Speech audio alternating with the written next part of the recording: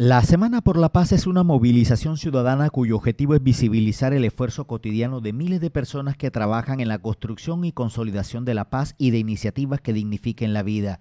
Se realiza la primera semana de septiembre, porque el día 9 de ese mes se celebra el Día de los Derechos Humanos en Colombia y el Día de San Pedro Claver. Precisamente el Defensor Nacional del Pueblo, Carlos Camargo Asís, acompañará el evento de la Semana por la Paz en el departamento de Córdoba desde el municipio de Puerto de Libertador, donde el censo oficial de víctimas del conflicto confirma 36 mil personas. Y que en el día de mañana vamos a contar en el municipio con la visita del señor gobernador que ya nos han confirmado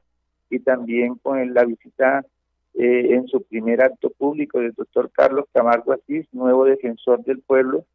eh, en honor a, a, todas estas víctimas, 36 mil víctimas que tiene el municipio de Puerto Libertador,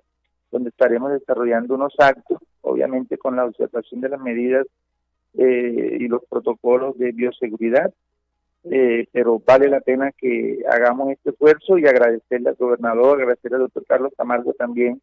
que hayan tenido a bien eh, venir a hacer el ejercicio de sanción de la política pública de derechos humanos y de paz en el municipio de Puerto Libertador. El defensor, recientemente posesionado en el cargo, estrena su misión desde el sur del departamento, escenario de masacres, atropellos de violentos y demás actuaciones violatorias de los derechos humanos. Tendrá espacio para dialogar con defensores de derechos humanos y cumple su palabra de salir de las oficinas de Bogotá y comenzar su trabajo en el territorio.